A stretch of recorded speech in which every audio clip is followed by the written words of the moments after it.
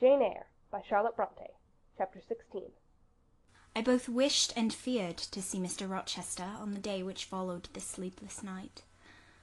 I wanted to hear his voice again, yet feared to meet his eye. During the early part of the morning I momentarily expected his coming. He was not in the frequent habit of entering the schoolroom, but he did step in for a few minutes sometimes, and I had the impression that he was sure to visit it that day. But the morning passed just as usual. Nothing happened to interrupt the quiet course of Adele's studies. Only soon after breakfast I heard some bustle in the neighbourhood of Mr. Rochester's chamber. Mrs. Fairfax's voice, and Leah's, and the cook's, that is, John's wife, and even John's own gruff tones. There were exclamations of What a mercy master was not burnt in his bed! It is always dangerous to keep a candle lit at night. How providential that he had presence of mind to think of the water jug. I wonder he waked nobody. It is to be hoped he will not take cold with sleeping on the library sofa, etc. To much confabulation succeeded a sound of scrubbing and setting to rights, and when I passed the room in going downstairs to dinner, I saw through the open door that all was again restored to complete order, only the bed was stripped of its hangings. Leah stood up in the window seat, rubbing the panes of glass dimmed with smoke. I was about to address her, for I wished to know what account had been given of the affair, but on advancing I saw a second person in the chamber, a woman sitting on a chair by the bedside and sewing rings to new curtains. That woman was no other than Grace Poole. There she sat, staid and taciturn looking as usual, in her brown stuff gown, her check apron, white handkerchief, and cap. She was intent on her work, in which her whole thoughts seemed absorbed. On her hard forehead, and in her commonplace features, was nothing either of the paleness or desperation one would have expected to see marking the countenance of a woman who had attempted murder, and whose intended victim had followed her last night to her lair, and, as I believed, charged her with the crime she wished to perpetrate. I was amazed, confounded. She looked up while I still gazed at her. No start, nor increase or failure of colour betrayed emotion, consciousness of guilt, or fear of detection. She said, Good morning, miss. in her usual phlegmatic and brief manner, and taking up another ring and more tape, went on with her sewing. I will put her to some test, thought I. Such absolute impenetrability is past comprehension. Good morning, Grace, I said. Has anything happened here? I thought I heard the servants all talking together a while ago. Only master had been reading in his bed last night. He fell asleep with his candle lit, and the curtains got on fire; but fortunately he awoke before the bedclothes or the woodwork caught, and contrived to quench the flames with the water in the ewer. A strange affair, I said in a low voice, then looking at her fixedly. Did Mr. Rochester wake nobody? Did no one hear him move? She again raised her eyes to me, and this time there was something of consciousness in their expression. She seemed to examine me warily. Then she answered, The servants sleep so far off, you know, miss, they would not be likely to hear. Mrs. Fairfax's room and yours are the nearest to master's, but Mrs. Fairfax said she heard nothing. When people get elderly they often sleep heavy. She paused, and then added with a sort of assumed indifference, but still in a marked and significant tone, But you are young, miss, and, I should say, a light sleeper. Perhaps you may have heard a noise? I did, said I, dropping my voice, so that Leah, who was still polishing the panes, could not hear me. And at first I thought it was Pilot. But Pilot cannot laugh, and I am certain I heard a laugh, and a strange one. She took a new needleful of thread, waxed it carefully, threaded her needle with a steady hand, and then observed with perfect composure, It is hardly likely master would laugh, I should think, miss, when he was in such danger. You must have been dreaming. I was not dreaming, I said, with some warmth, for her brazen coolness provoked me. Again she looked at me, and with the same scrutinizing and conscious eye. Have you told master that you heard a laugh? she inquired. I have not had the opportunity of speaking to him this morning. You did not think of opening your door and looking out into the gallery? She appeared to be cross-questioning me, attempting to draw from me information unawares. The idea struck me that if she discovered I knew or suspected her guilt, she would be playing of some of her malignant pranks on me. I thought it advisable to be on my guard. On the contrary, said I, I bolted my door. Then you are not in the habit of bolting your door every night before you get into bed? Fiend! She wants to know my habits, that she may lay her plans accordingly. Indignation again prevailed over prudence. I replied sharply, Hitherto I have often omitted to fasten the bolt. I did not think it necessary. I was not aware any danger or annoyance was to be dreaded at Thornfield Hall.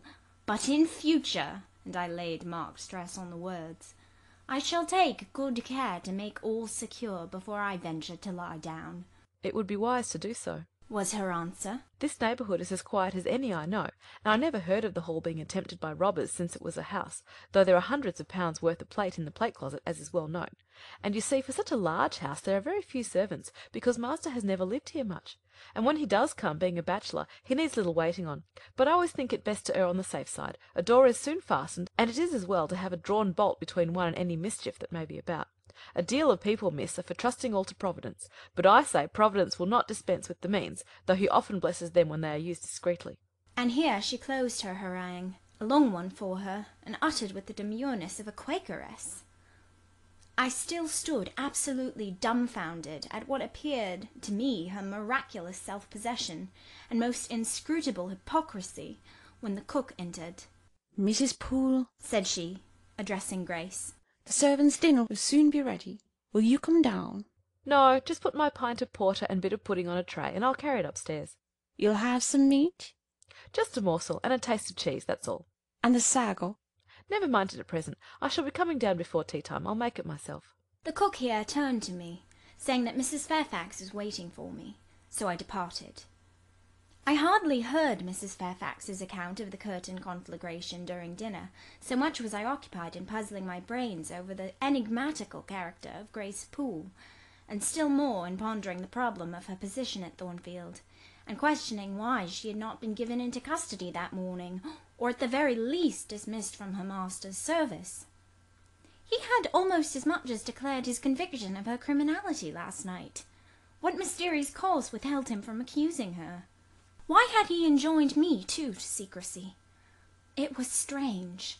A bold, vindictive, and haughty gentleman seemed somehow in the power of one of the meanest of his dependents. So much in her power that even when she lifted her hand against his life, he dared not openly charge her with the attempt, much less punish her for it. Had Grace been young and handsome, I should have been tempted to think that tenderer feelings than prudence or fear influenced Mr. Rochester in her behalf, but hard-favoured and matronly as she was, the idea could not be admitted. Yet, I reflected, she has been young once. Her youth would be contemporary with her master's. Mrs. Fairfax told me once she had lived here many years.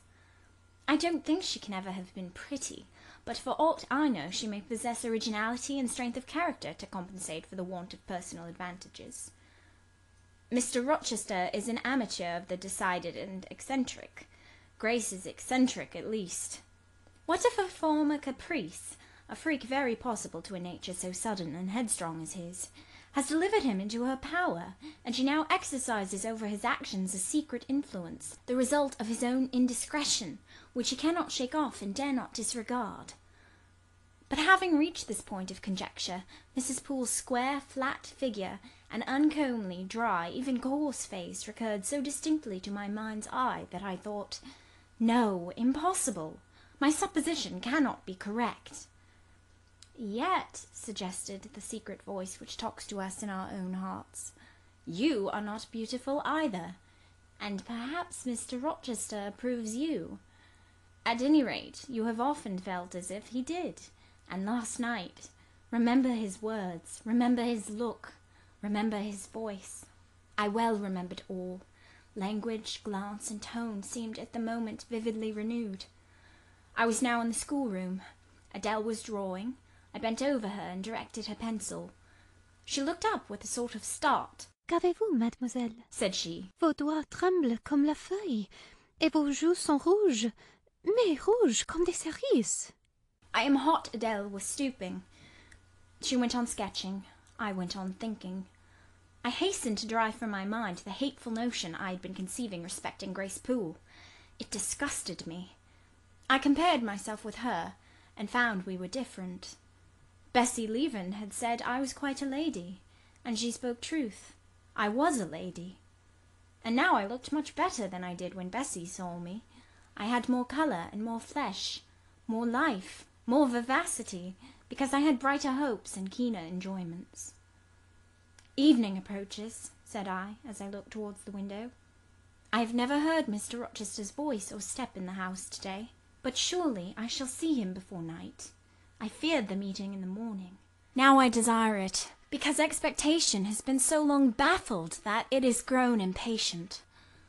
When dusk actually closed, and when Adèle left me to go and play in the nursery with Sophie, I did most keenly desire it. I listened for the bell to ring below. I listened for Leah coming up with a message. I fancied sometimes I heard Mr. Rochester's own tread, and I turned to the door, expecting it to open and admit him. The door remained shut. Darkness only came in through the window. Still, it was not late. He often sent for me at seven and eight o'clock, and it was yet but six.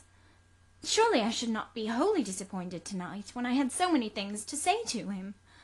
I wanted again to introduce the subject of Grace Poole, and to hear what he would answer. I wanted to ask him plainly if he really believed it was she who had made last night's hideous attempt, and if so, why he kept her wickedness a secret. It little mattered whether my curiosity irritated him. I knew the pleasure of vexing and soothing him by turns. It was one I chiefly delighted in, and a sure instinct always prevented me from going too far. Beyond the verge of provocation I never ventured. On the extreme brink I liked well to try my skill. Retaining every minute form of respect, every propriety of my station, I could still meet him in argument without fear or uneasy restraint. This suited both him and me. A tread creaked on the stairs at last. Leah made her appearance, but it was only to intimate that tea was ready in Mrs. Fairfax's room. Thither I repaired, glad at least to go downstairs, for that brought me, I imagined, nearer to Mr. Rochester's presence. You must want your tea, said the good lady, as I joined her. You ate so little at dinner. I am afraid, she continued, you are not well to-day. You look flushed and feverish. Oh, quite well. I never felt better. Then you must prove it by evincing a good appetite. Will you fill the teapot while I knit off this needle? Having completed her task, she rose to draw down the blind, which she had hitherto kept up, by way, I suppose, of making the most of daylight, though dusk was now fast deepening into total obscurity. It is fair to-night, said she, as she looked through the panes, though not starlight. Mr. Rochester has, on the whole, had a favourable day for his journey. Journey! Is Mr. Rochester gone anywhere? I did not know he was out. Oh, he had set off the moment he had breakfasted. He has gone to the Leas, Mr. Eshton's place, ten miles on the other side of Millcote. I believe there is quite a party assembled there. Lord Ingram, Sir George Lynn, Colonel Dent, and others. Do you expect him back to-night? No, nor to-morrow either. I should think he is very likely to stay a week or more.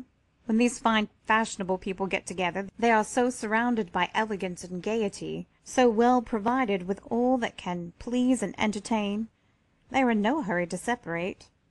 Gentlemen especially are often in request at such occasions, and Mr. Rochester is so talented and so lively in society, that I believe he is a general favourite. The ladies are very fond of him though you would not think his appearance calculated to recommend him particularly in their eyes.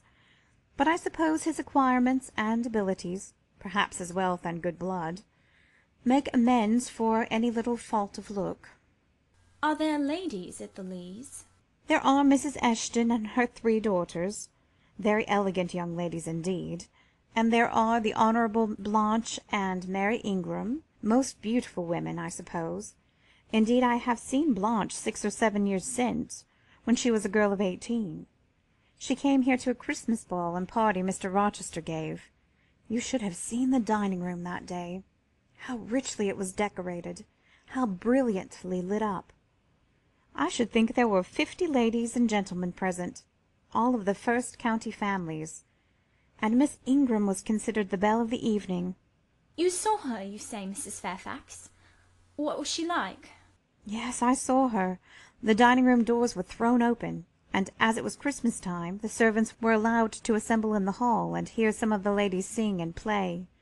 Mr. Rochester would have me come in, and I sat down in the quiet corner and watched them. I never saw a more splendid scene. The ladies were magnificently dressed. Most of them, at least most of the younger ones, looked handsome, but Miss Ingram was certainly the queen. And what was she like? Tall, fine bust, sloping shoulders, long graceful neck, olive complexion, dark and clear, noble features, eyes rather like Mr. Rochester's, large and black and as brilliant as her jewels. And then she had such a fine head of hair, raven black and so becomingly arranged, a crown of thick plaits behind, and in front the longest and glossiest curls I ever saw. She was dressed in pure white.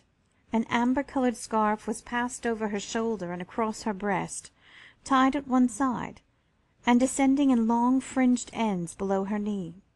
She wore an amber-coloured flower too in her hair. It contrasted well with the jetty mass of her curls. She was greatly admired, of course. Yes, indeed, and not only for her beauty, but for her accomplishments. She was one of the ladies who sang. A gentleman accompanied her on the piano. She and Mr. Rochester sang a duet. Mr. Rochester? I was not aware he could sing. Oh, he has a fine bass voice, and an excellent taste for music. And Miss Ingram, what sort of a voice had she? A very rich and powerful one. She sang delightfully. It was a treat to listen to her, and she played afterwards.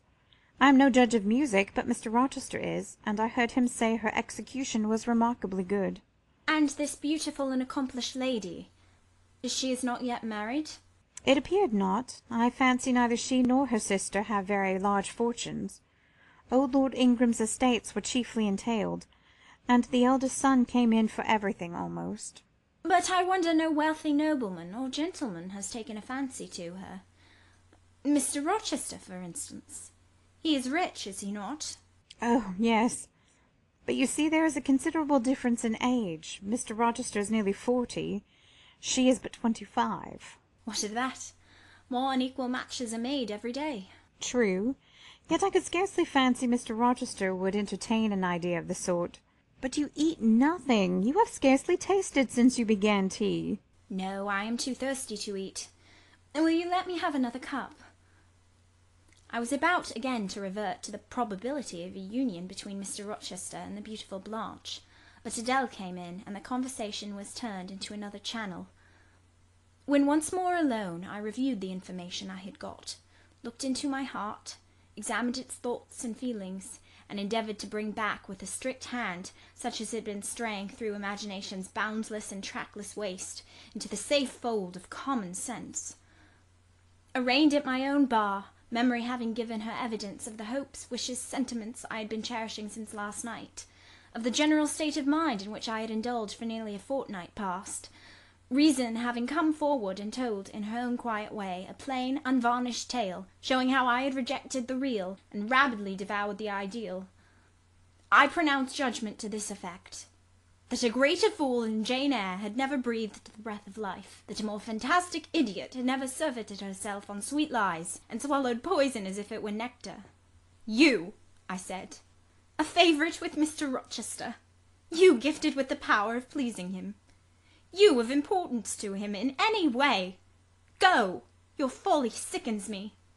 And you have derived pleasure from occasional tokens of preference, equivocal tokens shown by a gentleman of family and a man of the world to a dependent and a novice. How dared you? Poor stupid dupe! Could not even self-interest make you wiser? You repeated to yourself this morning the brief scene of last night. Cover your face and be ashamed. He said something in praise of your eyes, did he? Blind puppy! opened their bleared lids, and look on your own accursed senselessness. It does good to no woman to be flattered by her superior, who cannot possibly intend to marry her, and it is madness in all women to let a secret love kindle within them, which, if unreturned and unknown, must devour the life that feeds it, and if discovered and responded to, must lead, ignis fatuus like, into miry wilds whence there is no extrication. Listen then, Jane Eyre, to your sentence. Tomorrow place the glass before you, and draw in chalk your own picture, faithfully, without softening one defect. Omit no harsh line, smooth away no displeasing irregularity. Write under it, Portrait of a Governess, disconnected, poor, and plain. Afterwards, take a piece of smooth ivory, you have one prepared in your drawing box. Take your palette, mix your freshest, finest, clearest tints, choose your most delicate camel hair pencils, delineate carefully the loveliest face you can imagine, paint it in your softest shades and sweetest lines, according to the description given by Mrs. Fairfax of Blanche Ingram. Remember the raven ringlets, the oriental eye. What! You revert to Mr. Rochester as a model? Order! No snivel! No sentiment! No regret! I will endure only sense and resolution. Recall the august yet harmonious lineaments, the Grecian neck and bust. Let the round and dazzling arm be visible, and the delicate hand. Omit neither diamond ring nor gold bracelet. Portray faithfully the attire, aerial lace and glistening satin, graceful scarf and golden rose. Call it Blanche, an accomplished lady of rank. Whenever, in future, you should chance to fancy Mr. Rochester thinks well of you, take out these two pictures and compare them. Say, Mr. Rochester might probably win that noble lady's love if he chose to strive for it. Is it likely he would waste a serious thought on this indigent and insignificant plebeian? I'll do it, I resolved, and having framed this determination, I grew calm and fell asleep. I kept my word. An hour or two sufficed to sketch my own portrait in crayons, and in less than a fortnight I had completed an ivory miniature of an imaginary Blanche Ingram. It looked a lovely face enough, and when compared with the real head in chalk, the contrast was as great as self-control could desire. I derived benefit from the task. It had kept my head and hands employed, and had given force and fixedness to the new impressions I wished to stamp indelibly on my heart. Ere long, I had reason to congratulate myself on the course of wholesome discipline to which I had thus forced my feelings to submit. Thanks to it, I was able to meet subsequent occurrences with a decent calm, which, had they found me unprepared, I should probably have been unequal to maintain, even externally. End of chapter 16.